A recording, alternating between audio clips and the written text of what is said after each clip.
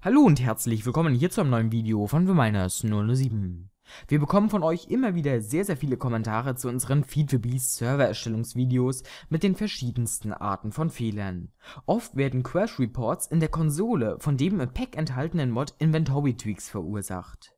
Um nun also den Crash Report zu beheben, geht ihr einfach in den Mods-Ordner, der im Serververzeichnis zu finden ist. Dort sucht ihr dann nach der Datei inftweaks.zip und könnt diese dann einfach, während der Server geschlossen ist, löschen. Somit sollte nun euer Feed4Beast Server perfekt starten.